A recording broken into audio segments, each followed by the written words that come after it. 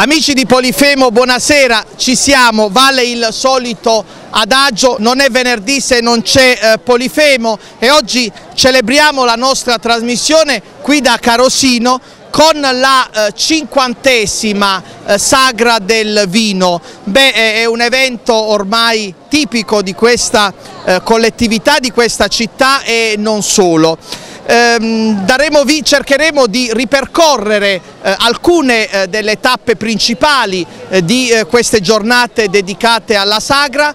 Ci sarà ovviamente il momento topico, il momento clou, quello dell'accensione della fontana e poi ovviamente anche tutto il momento come dire ludico attraverso la musica, attraverso la partecipazione popolare, l'aggregazione popolare e eh, sociale, ma anche dei momenti di approfondimento attraverso appunto i eh, convegni tematici eh, dedicati, alle, eh, dedicati appunto alle problematiche del settore vitivinicolo.